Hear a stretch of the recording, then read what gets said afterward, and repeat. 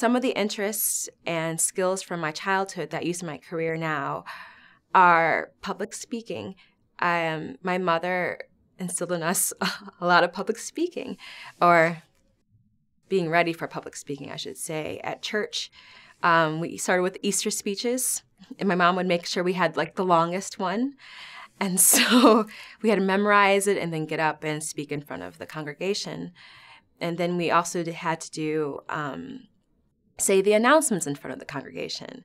And so I got used to a lot of public speaking. And now, as a ballerina, I not only have to dance on stage, but I have to present myself with interviews for the paper or for films. And so it's vital that you have those speaking skills. Um, we also did a lot of choir in church. And so being musical helps with dancing, of course, because we're dancing to music all the time. Um, and some people don't have that skill down pat, I would say. It's harder for them to either count or just be right on top of the music instead of behind it.